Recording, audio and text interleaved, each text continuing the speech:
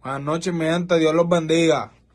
Tengo fanáticos preguntándome sobre, sobre los Illuminati. Este, les voy a decir unas cuantas cosas. El diablo es el dueño de esa organización. Al diablo le encanta crear ídolos. Le encanta crear personas que para tus ojos se vean perfectas, que se vean millonarios, que se vean que son felices, para que tú los veas grandes y los adores y los idolatres. Porque tan pronto tú estás idolatrando a estas personas, los estás viendo como algo grande, estás desconectado de Dios porque caes en el pecado de idolatría. Ok, los Illuminati no dominan el mundo. No sé por qué les tienen miedo. Les voy a contar. El mundo lo, lo gobierna Dios. Es el que tiene el poder. Los Illuminati tienen el poder de los que no tienen a Dios.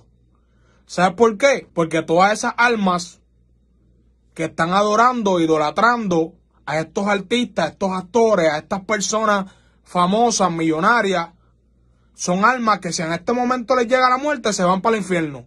O sea que son todas esas almas que están adorando estos artistas, son almas que ahora mismo están en las garras del diablo. Así que los Illuminati tienen el control de todos los que están perdidos. No tienen el control de ningún cristiano. Porque nosotros los cristianos solamente adoramos a Cristo.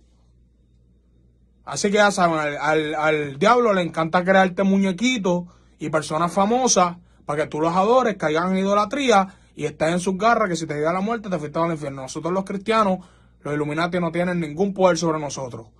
Nosotros vamos a predicarle a ellos. Dios los bendiga mucho. Entonces me están preguntando si el diablo lo hace famoso a ellos. Hay muchas personas que el diablo hace famoso porque hacen su pacto y, y les da dinero y fama. Pero muchos de los artistas del género de reggaeton y trap se hicieron famosos por su talento. Porque el talento que Dios le dio los llevó a esa fama. Pero no lo usaron para el bien. Pues el diablo se le hace más fácil que tú te hagas famoso con tu talento. Este, pasa menos trabajo. Pero estás está haciendo el trabajo fácil porque está haciendo que todas esas personas se pierdan y sigan el camino incorrecto a través del talento que Dios te dio. Eso fue de las cosas que yo me di cuenta. Y por eso ya no trabajo para el diablo. Adiós.